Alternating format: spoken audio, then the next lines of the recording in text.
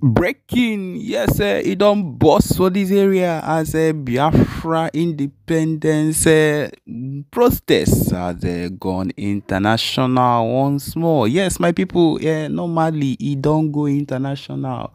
Yes, everybody knows about it, but once again, it has broken the bar uh, on the international level. Yes, uh, we'll be going directly into the details of this news. Don't forget, we are your one and only exposed News TV. Yes, uh, these are the details. Also, in response to escalating violence uh, in the Biafra land, yes, in southeastern, uh, he said the protests has uh, erupted across major European cities with thousands of members of the Biafran diaspora demanding international intervention in the ongoing conflict.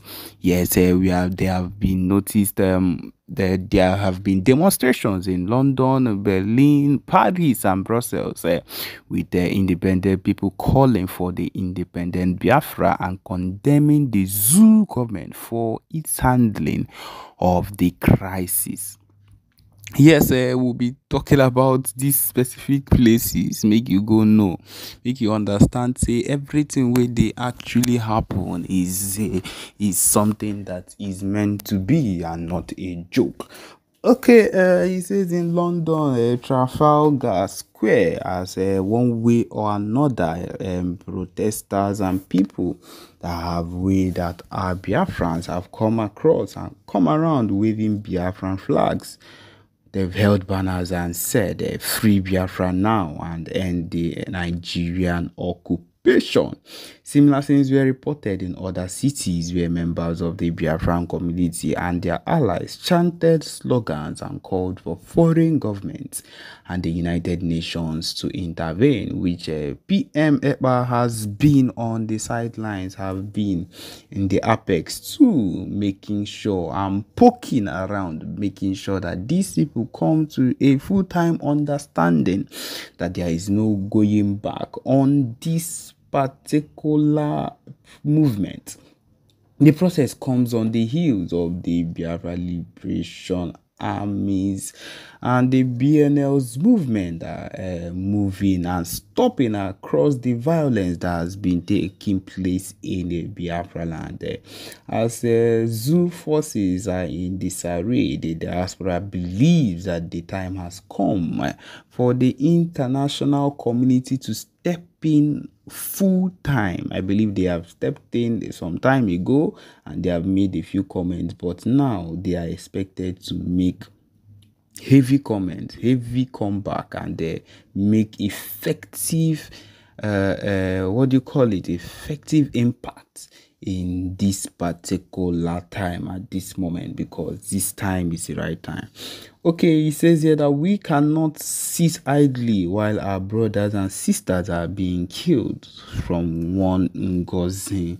We there are said that stays in London he said the world must recognize Biafra's right to self determination and self referendum and force the Zoo government to stop its uh, violence. International human rights groups have also raised concerns about the growing humanitarian crisis in the region, with tens of thousands uh, displaced by the conflict and uh, the Zoo government's military response. As you all know that these people seek to do complete a, genocide in the in the Biafra land in the southeast region, and uh, it is not something that is even being hidden on any ground. But then it is not what we'll be looking at whenever we have we decide to do the necessary things that we need to do. That is just the truth of the matter. We are going to succeed we are going to make sure we do everything in our power to make everything work out. The United Nations has called for a ceasefire and a peaceful resolution, but thus far diplomatic efforts have failed to gain traction. As the conflict in Zoo intensifies, the Biafran Diaspora's global presence is making waves on the international stage putting additional pressure on both the Nigeria government and the foreign powers to address the situation before it spirals further out of uh, control. na so okay my people na so we go dey give am straight to una back to back take notes that is what we are here for. On another note, it is always good to have it in mind that we are not slacking back on another level. The next thing you will be hearing would be things that concern the Biafra movement uh, coming from the PM Simon Ekpa. Listen and enjoy. Thank you. Thank you so much, my Honorable Prime Minister Mogvisto Evans. Thank you. Thank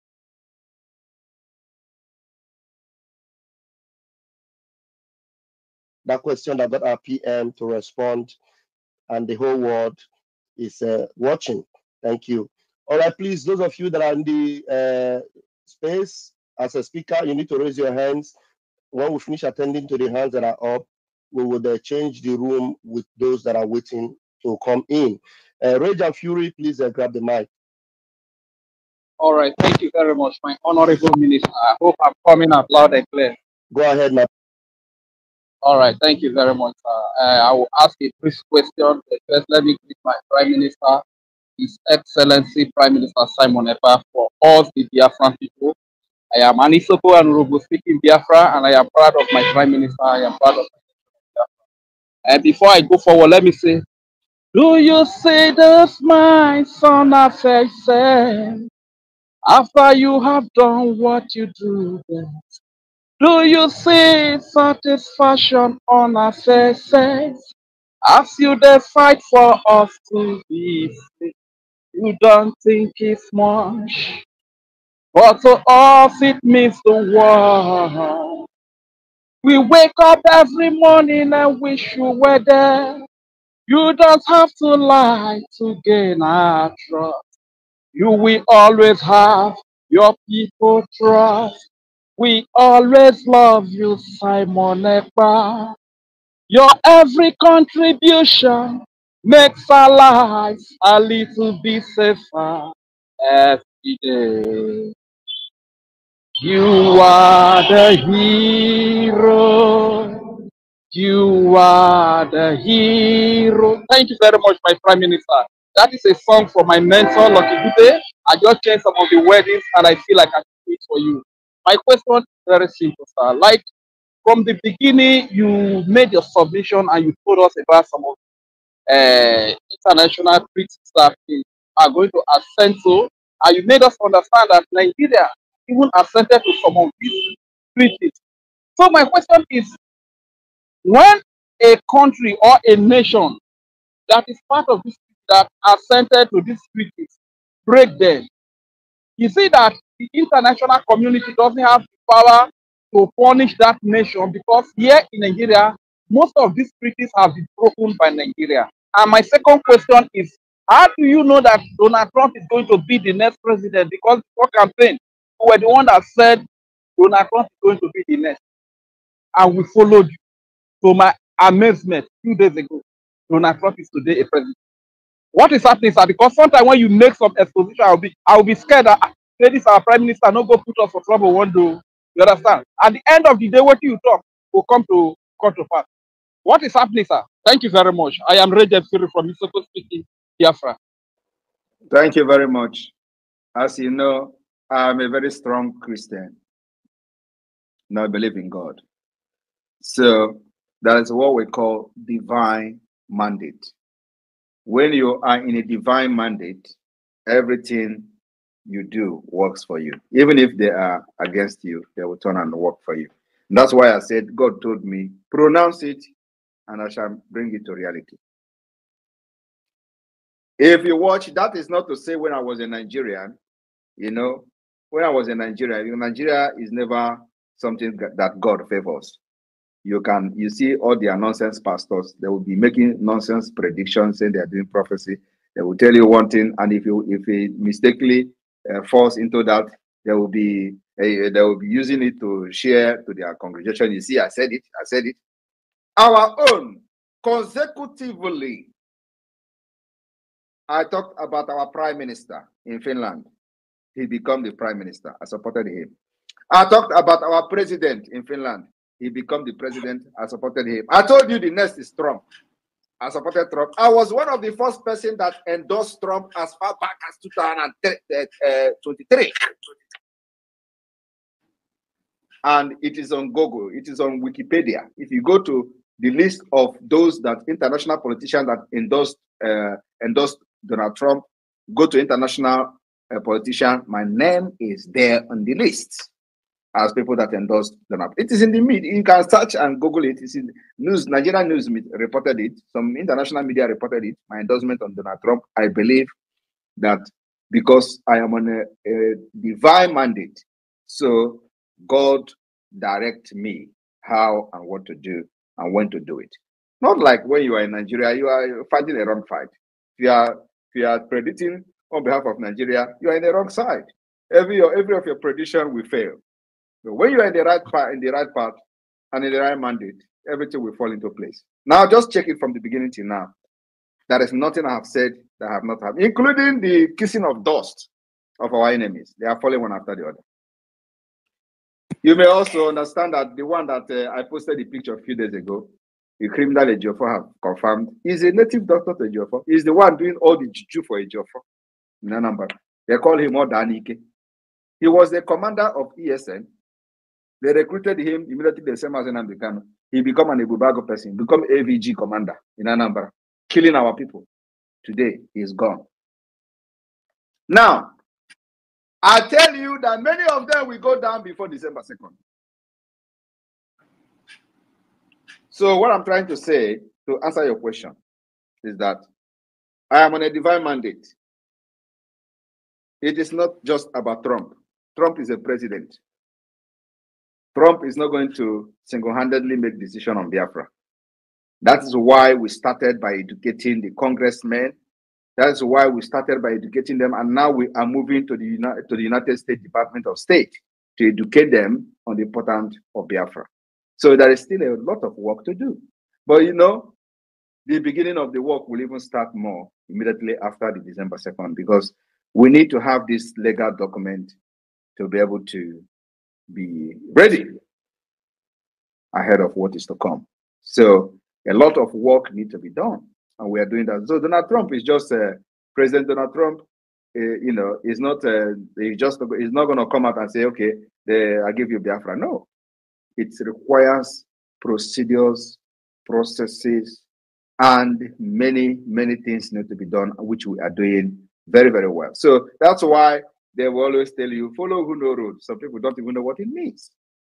If you do not follow know road, they will lead you to your, I don't know what it's called, but maybe you go into inside the evil forest and you never come out again. We know road. And that's why we're leading Biafrans to freedom.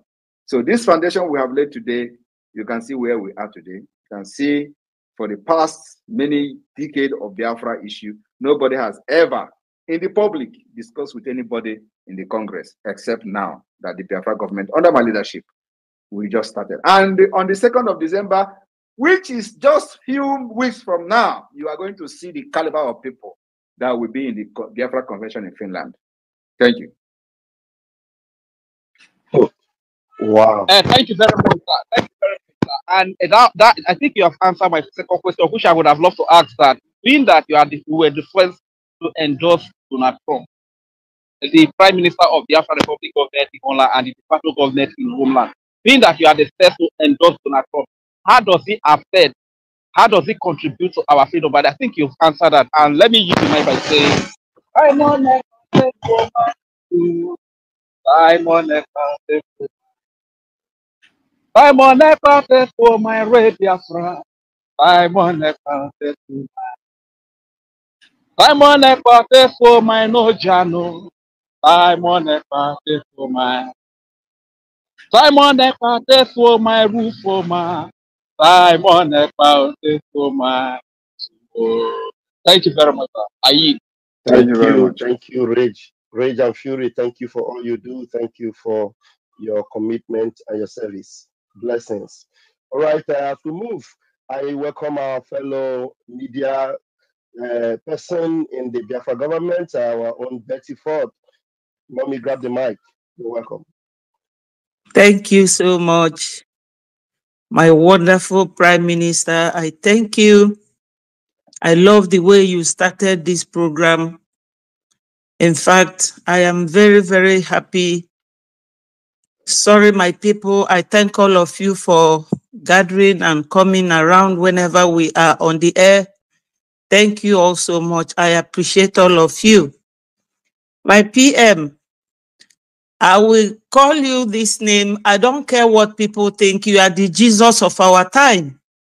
And I thank you so much. I'm very proud and happy to be working under you. You have really thrown the light and it is shining. There's a question.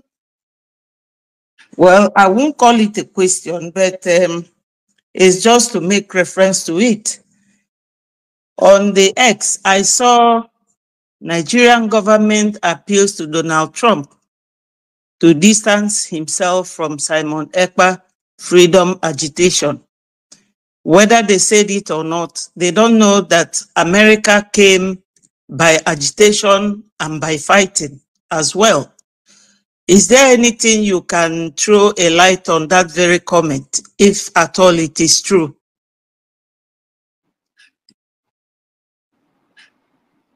There is, there is no comment on that. It is dead on arrival. So I know that they did that. They did that one month ago. So, uh, but uh, what am I going to comment on that? Donald Trump doesn't listen to Islamic uh, terrorist uh, sponsors like Nigeria. Exactly. So my second question is just like a human And, and, being and that then I also, am. and then also, let me also quickly say that uh, I can never be Jesus. I am not even, I'm not even close to the speed of Jesus. I'm not even close to the sweat of Jesus. So all glory goes to God and Jesus. Jesus is the one that is piloting this affair through me. I can never ever be equated to his even footstep. So please, just I know that I know how you feel. I, I know how you feel, I, but just uh, to correct it, uh, you can continue. Just leave this comment and continue, please. Thank you. Okay, okay. Yeah, the next one that I have been wondering about is in relation to our lobbyist. I know that they Uh, we we are not. We talking to not. We will not entertain any question about lobbies. Thank you. all right. Thank you so much. Keep the light shining. We are with you. Thank you, sir. Thank you. Thank you, our own Betty. Thank you so much. We move. All right, uh, the hands are up and uh, we're going to bring them. Please, uh, one one minute now, going forward, one minute, bring your question, and then the next person will take the microphone. And uh, I give you the microphone. Simon Ekpa Pikin, you have 60 seconds, please. Go ahead. Good evening, uh, my people. I greet you. Once again, I want to thank my Honorable Prime Minister Simon Ekpa. At least I have uh, learned a lot through him by knowing that Igbo can generate a lot of wise and intelligent people. I honor you, my PM. Then um, I want my PM to make a little reference concerning this after this uh, convention in Finland and we declared our freedom. Then I want him to uh, give a little reference on how we are going to deal with Nigeria or how international community is going to put uh, in, uh, put their eye on how Nigeria is going to treat our leader Mazi Nnamdi Kanu. I have addressed. You know, I, I have, I have addressed that. You just watch and see how it unfolds. If you're listening, you know that I have addressed all these questions you're asking here. Thank you. Thank you, Mazi Simon Ekpa. I greet you. This is the question I wanted to ask. All right. Thank you very much. That has been taken care of. Thank you so very much. We move. All right, and it's good that that was uh, taken care of very quickly. Uh, please uh, see vibes. Unmute yourself and bring your question, please. Okay.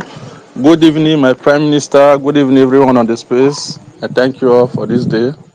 Okay, my question is just simple. What I want to ask is that how will Biafra handle issues of borders, citizenship, and governance after independence? You wait, we have a constitution. You wait, we have a Can you constitution. mute yourself, please? You Can are you- talking. There is a noise. So Mute your, Biafra, mute your mic. Biafra, Biafra have a constitution which will be adopted in the convention, and those constitutions have addressed the issue of border crossing, the issue of citizenship, and all that is was well or is well addressed in the Biafra constitution. So you don't have anything to worry about that. Just uh, keep your fingers crossed. After the convention, the Biafra constitution will be public. All right. Uh, see, vibes, are you good with that? You have another question? You have another question? Okay, my second question is this. Am, am I loud and clear? Bring it on, please. Bring I'm it on, please. I'm Okay. sure mic your mic after that. Okay. What I want to ask is that how much support does the Biafra independent movement have from the people in the region? You're asking how much support You're asking how much when you have 40 states, when you have 40 United States of Biafra, have your map, have representative in all the 40 states. You are asking how much support you have. You have your support from all your family members alone. Thank you. Okay, thank you. I'm done. Okay, thank you. Uh, how, how much support? Every every seat at home, you see this, so the whole of Biafra is locked down. Our vote. No, he's talking about support vote- where he's talking about support where 50 million people have voted. How many people do you have in Nigeria? Yeah, I beg, I beg, just Yeah, much uh, somebody else coming. uh, okay, okay. All right, uh, we move. Uh, please uh, go ahead and bring your question. Um, Igbo, the progenitor of black. Please go ahead. Uh, my Honorable Prime Minister, I greet every one of you in the House. Um, my question is uh, based on the immigrant uh, treaty with the UN. Uh, like we all know the situation the world are facing now based on the immigrants. How do we Biafra manage it in the situation whereby Where are you? Where are you calling? Where where are you calling from? Hmm? Where are you calling from? I'm calling from South Africa? Why are you worried about immigrants when you are immigrants in another man's land? Yes, uh, that is where I'm, I'm not worried. I'm just uh, trying to emphasize some one or two things. What are what, what are you emphasizing? Because you are an immigrant in South Africa. So is every if, Mhm. if uh, Mandela if Mandela and co were emphasizing on immigrants, will you be there? No, I will so not be there. just Not- so cut the question, please. You, you Mm. people should be asking something that is going to help, you know, to explain certain things about the freedom, not uh, about uh, immigrant. We are concerned about immigrant why you are there somewhere, so some some somewhere's country, somebody else country, and as an immigrant. If everybody was concerned about immigrant, you would not be there. So talk Yes. about Yeah, something but- that will help. Talk about something that will help your freedom, not all this nonsense uh, side talk about what will happen after your freedom. Talk about how you are going to get your freedom. Talk about Get the your freedom. finance, finance that is needed to get your freedom first. Talk about the guns and bullets you need to protect your women and children first.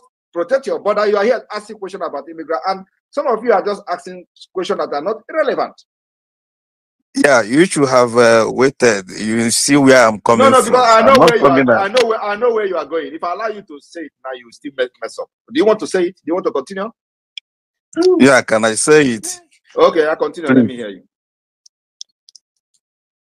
Yeah, where I'm going for, I'm going through based on because of what we have in uh, the the Islamic jihadists.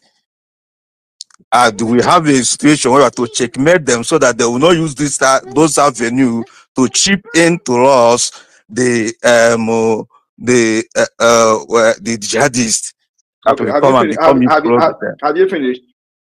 Yeah, that is the angle I want to chip in. Okay. You see, this, you still mess up. That's exactly why I stopped you from the beginning because Nigerians are criminals. Nigeria breed criminals. Yes. So if Nigeria breed criminals, South Africans are worried about the criminality of Nigerians. Will you be there in South Africa? No. That's why I asked you to leave that talk. Now you have said it. Exactly the same thing I was thinking you are going to say is what you said. You said you have something different. Okay, You see, okay, I think I rest my question. Thank you. I withdraw my All question. right. Thank you. Uh, thank you very much. Move. Uh, please, uh, the next person to bring your question is uh, brother. What's this, brother? Ah, Brother Van Van Van. brother Van Van Van. Oh yeah, let's hear you. Good evening, sir. Um, good evening, everyone. I want to thank um, thank the for this privilege. Uh, sir, I've been following you closely and I've been um, observing everything you're doing. It has just been falling into place. So my own is not really a question. It's like an appreciation and also a soft reminder that you should please help us with a continuous update because we here that is what we are feeding. You know, it's not as if we have uh, a direct boss we work with or whatever. And you know, in this part of the country, anything can happen to you. So you have to be very careful, especially with your with your device. So please help us continuously with the updates as they are making the moves. Help us with the updates. And this, uh, what's it called? This, uh, the constitution you talked about, because you know we here we need to study it also. December second does not assure assure us the fact that uh, everything is going to be rosy, but based on the constitution and based on the things that will be happening unfolding, we'll be able to trace our steps individually because it's the individual effort that would that would collectively bring about what we seek to achieve. That's just what I want to say. Thank you so much, sir. Uh, th- thank you very much. All right. Thank you. you Thank you. Thank you very much. Um, we move, please. I want to encourage us to bring uh, really demanding, engaging questions, please. That they will, who is opening their mic? Please, um, uh, uh, Biafra Liaison Australia. Let's hear you. Your mic has always remained open. Let's hear you. What do you have to ask? Please go ahead. Australia. Hello, greetings. Can you hear me? Yeah, we can hear you. Ah, is that our daddy? Please go ahead, sir. uh, greetings, everyone. Your Excellency.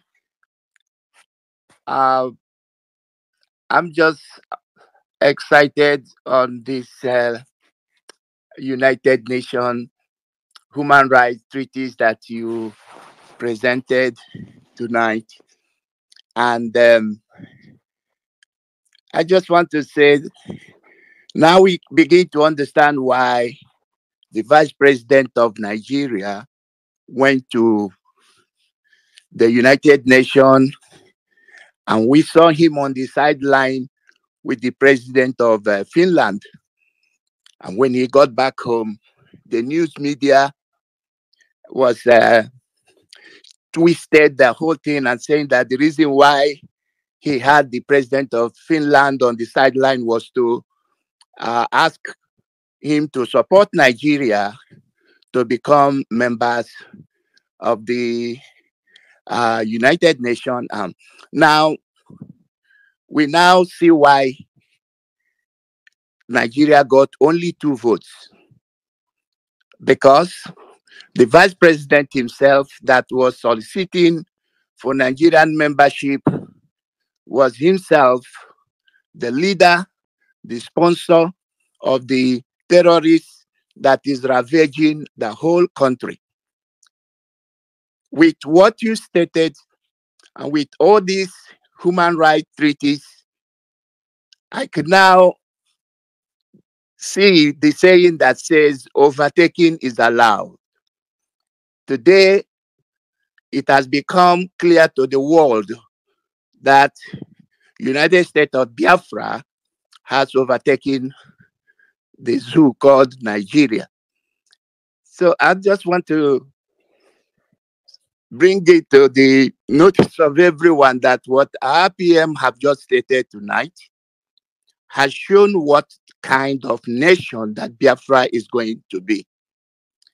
Overtaking is allowed, my PM, and um, I don't think Nigeria will have anything to say, especially their media, having understood what you share tonight and all these treaties Nigeria is supposed to be a signatory to, but unfortunately, they ignored because they don't know any better. And uh, upon the violations of these treaties, they think they could bulldoze themselves to becoming members of uh, a permanent, uh, uh, having a permanent seat in the United Nations. So overtaking is allowed, and um, unfortunately, Nigeria has messed themselves up. Kudos, uh, Your Excellency, for leading us and for bringing to the world, you know, showing the world what Biafra indeed is going to be. Thank you, Your Excellency. Thank you very much, uh, Ambassador Iwunze. Uh, Iwunze is the uh, liaison uh, officer of the Biafra government in Australia and uh, the representative of uh, the Biafra Pacific in Australia, in Australia. So thank you very much. Thank you, thank you, our daddy. We appreciate you, Daddy Iwunze. Thank you so very much.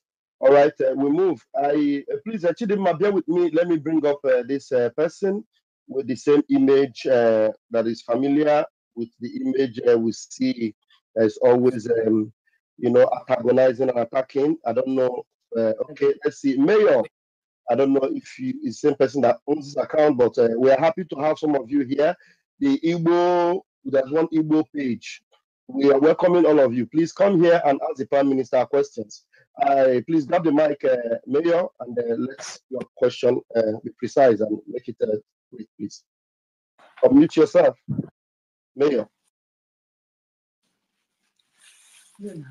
Mayor, we're giving you the microphone. Unmute yourself and go straight to the point.